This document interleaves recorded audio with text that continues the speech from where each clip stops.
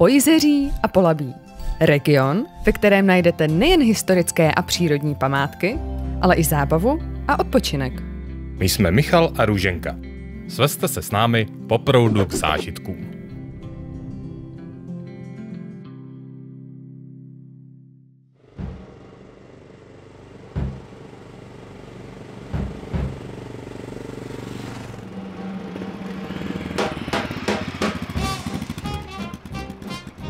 Největším městem po jezeři a Polabí je Mladá Boleslav, jinak také nazývané město automobilů. Kromě továren a průmyslových zón zde ale najdete spoustu zajímavých míst k naštívení. A jedno z nich je Letecké muzeum Metoděje Vlacha. Metoděj Vlach byl jeden z našich prvních českých aviatiků.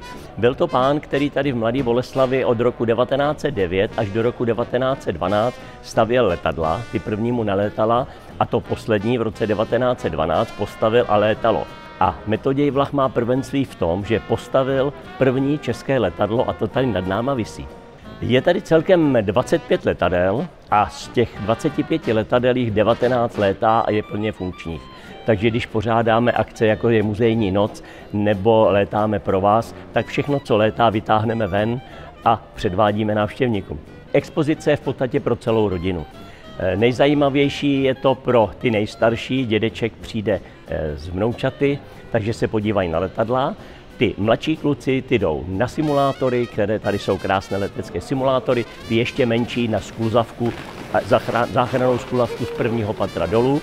No a maminky a babičky jdou ven eh, před kavárnu, kde si sednou na sluníčko, dají si kávu a dívají se, jak ty nejmenší jezdí po tartanové dráze ve šlapacích letadílkách.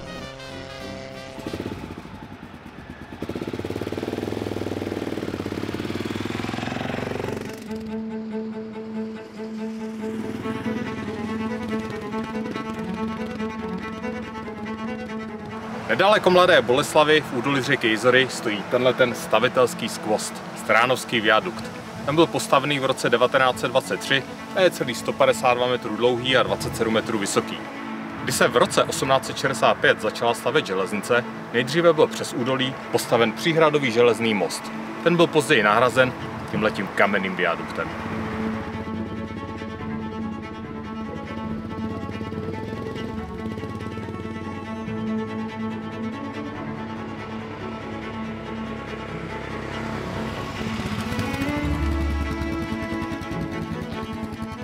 Pěkné projížďce údolím řeky Jizery jsme se dostali až pod zříceninu zámku Zvířetice.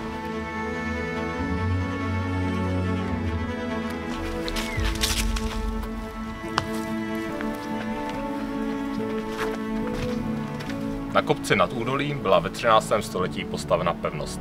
Ta se postupem času rozrůstala a měnila.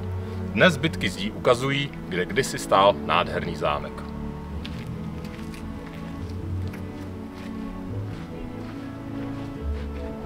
Tahle ta studna uprostřed bývalého nádvoří je 42 metrů hluboká. Je to přesně tolik, kolik je potřeba, aby dosáhla pod hladinu řeky v údolí. Koncem 17. století zámek dvakrát vyhořel. Po druhém požáru asi už nebyla chuť ho opravovat, takže z něj zbyly jenom tyhle ty ruiny, které si myslím, že můžou vyprávět zajímavé příběhy.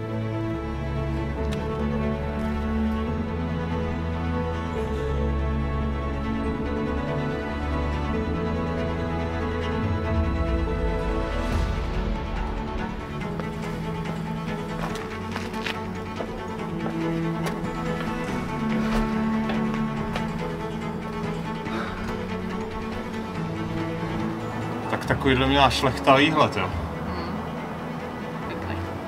Ne špatný. Musí být super vidět ty vojska, co k tobě míří.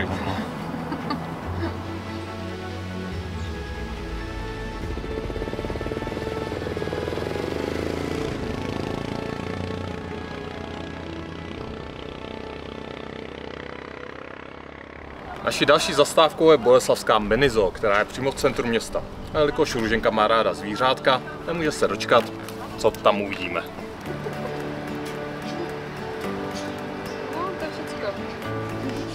No, vidět, že jsou tady zvířátka na lidi zvyklí. Vůbec se nebojí.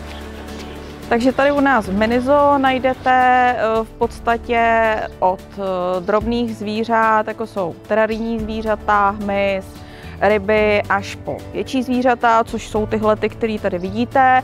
Takže máme tady poníka, máme tady eh, kamerunský kozy, máme tady ovečky, eh, s ovečkama, jsem zapomněla říct, tak vlastně to je kontaktní ohrada, kam si můžou děti přijít máme tady možnost eh, koupit si krmení, který je speciálně pro ně uspůsobený, aby nám netloustly a aby neměli zdravotní problémy.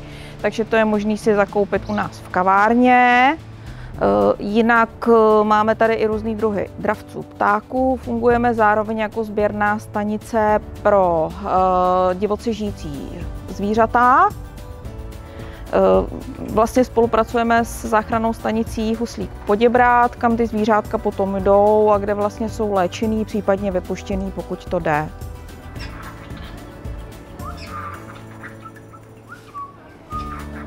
Můj oblíbenec je patagonský papoušek, jmenuje se Herodes, je to můj miláček. Akorát takový nedoceněný, protože všechny kouše.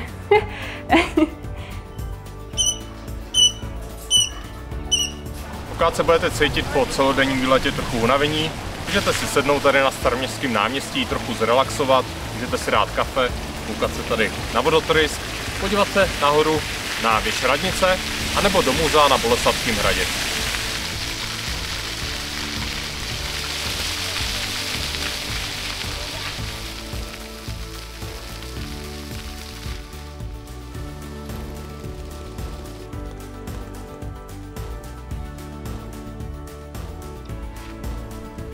Těsné blízkosti města je přírodní památka Radouč, kam se můžete vydat na procházku nebo se posadit a dát si piknik. Společnost vám tady budou dělat sisly, což je místní rarita a je to jedno z mála míst, kde sisly ještě u nás tady v Čechách žijou. Jen pozor, nekrmit, oni si svoji potravu najdou sami.